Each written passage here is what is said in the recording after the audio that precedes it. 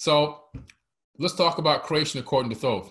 In the creation myth, we were introduced to uh, astrology and the influence of the planets upon man, from which man is expected to rise above. We have dualism, a God of the heavens and one who created the earth. We have the idea of man as a son or part of God. We have man being given the power of creation.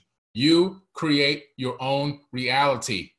The idea that man has a dual nature, one in heaven, the non material or soul and spirit, and one in the physical, in the world of the matter, the body.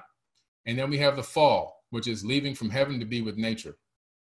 These are ancient teaching, guys. This is nothing I'm making up.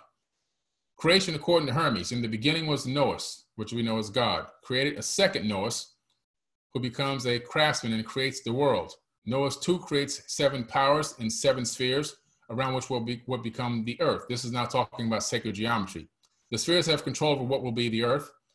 They control what we know as destiny,